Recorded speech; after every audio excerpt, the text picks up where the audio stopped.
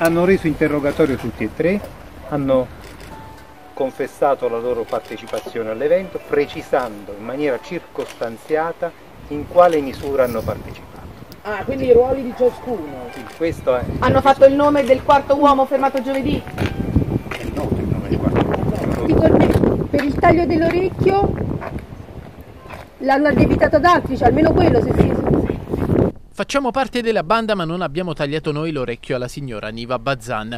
Hanno ammesso tutti e tre le responsabilità della rapina in villa ai coniugi Martelli, i fratelli Konstantin e Jon Turlica di 22 e 20 anni e il loro cugino Aurel Ruset di 25 anni, ascoltati questa mattina nel carcere di Lanciano nel corso dell'interrogatorio di garanzia a seguito dell'arresto effettuato mercoledì prima che i tre si dessero alla fuga da Lanciano. L'indagine sulla rapina stile arancia meccanica commessa all'alba di domenica scorsa prosegue per provare la responsabilità nella cruenta rapina anche del quarto uomo, Alexandru Bogdan Colteanu, 26 anni, individuato grazie al SARI, il sistema di riconoscimento dei volti, e arrestato due giorni fa a Caserta mentre cercava di vendere un orologio rubato proprio nella villa dei Martelli.